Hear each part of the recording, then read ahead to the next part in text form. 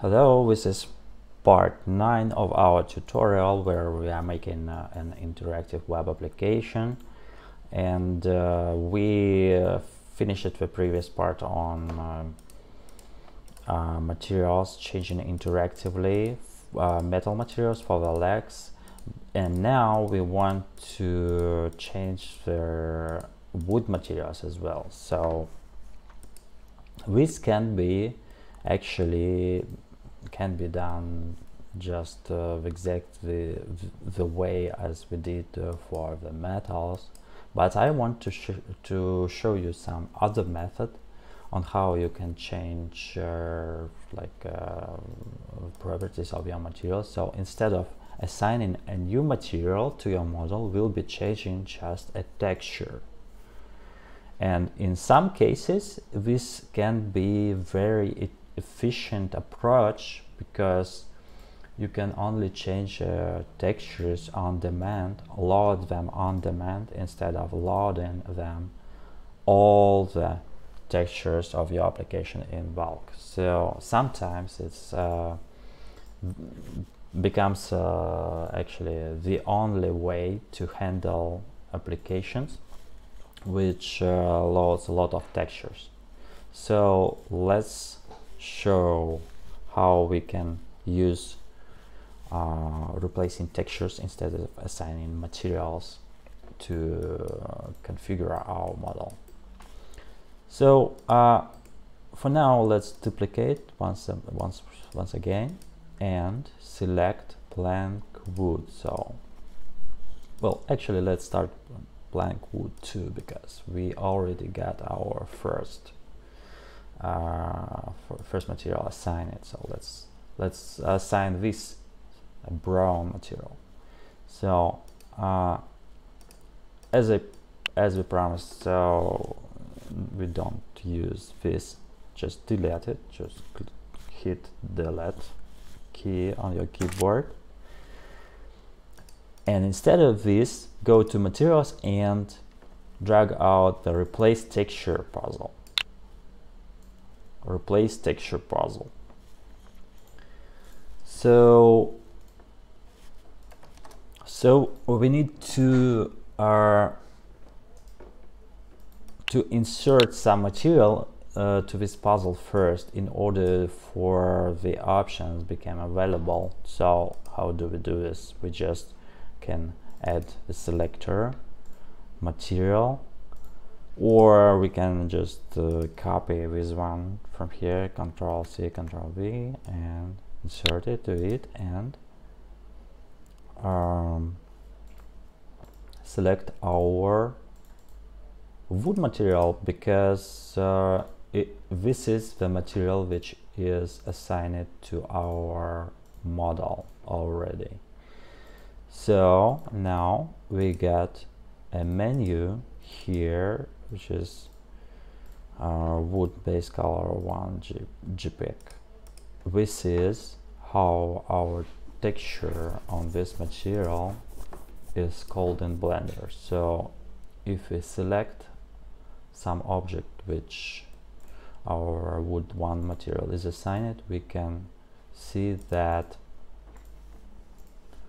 it is uh, this is how this image texture node is named. So um,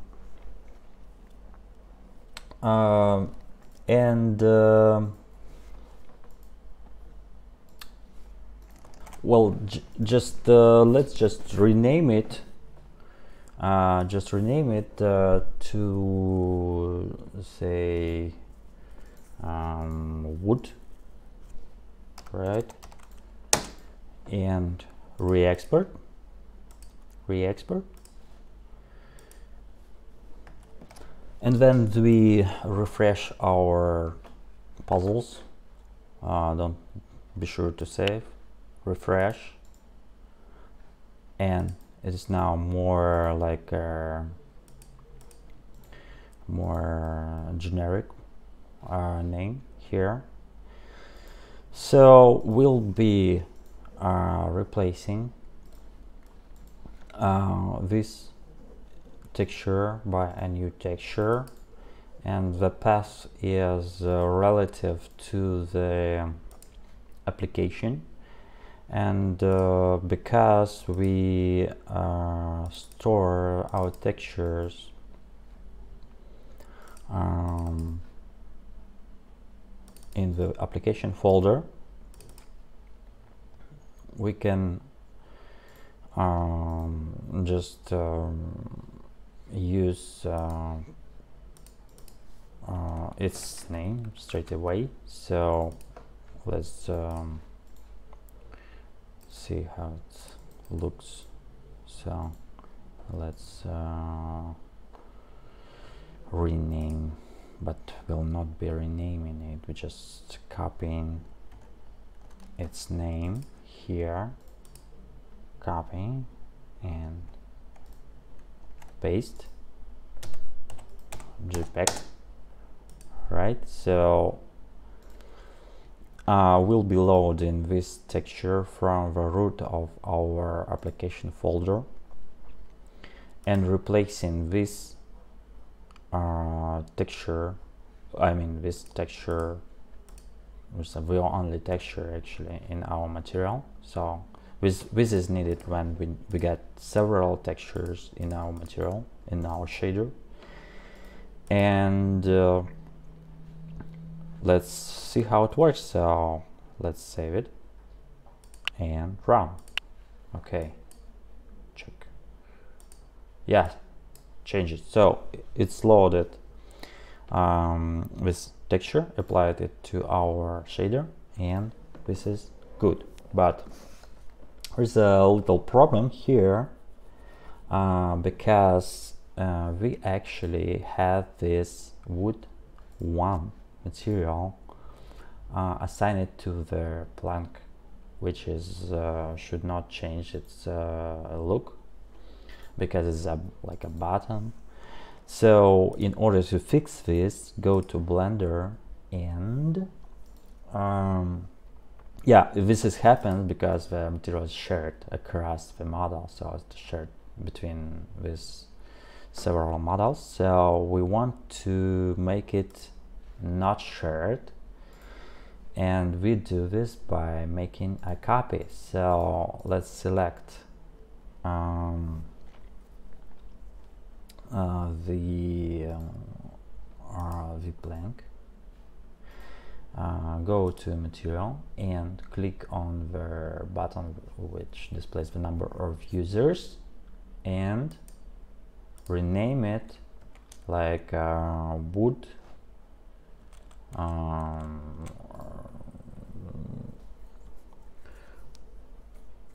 well uh, I actually I'd prefer to rename the material which is now assigned to um, to this nightstand so let's leave it as it is wood one. Um, wood one uh, for consistency with uh, wood 2 and wood 3 materials because we want them like uh, more uh, consistent between each other. And instead we want to replace the material which is assigned to wooden part. So let's make it wooden wood original so it will be like a target target uh, material which will be replacing textures in so let's save let export export gltf export and refresh. Okay so now we want it to change not in the wood one material which is assigned to the plank but rather in the wood original which is just a copy. And it's uh, the name of texture actually um, the same. So let's check it. Save run and see what happens. Okay so we still got problems. This is because we need to uh, this texture is also shared you see? It has three users in it so let's uh, make a copy. Let's make a copy as well so uh, maybe also wood original name it. Wood original. Um,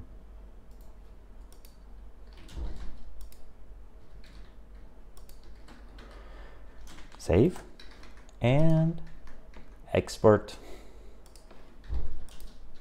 Okay. Let's refresh and ch check how it works.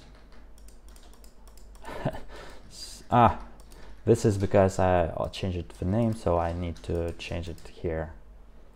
Save apply and run. Okay. Yes it works. Perfect. Let's do the other options. Duplicate.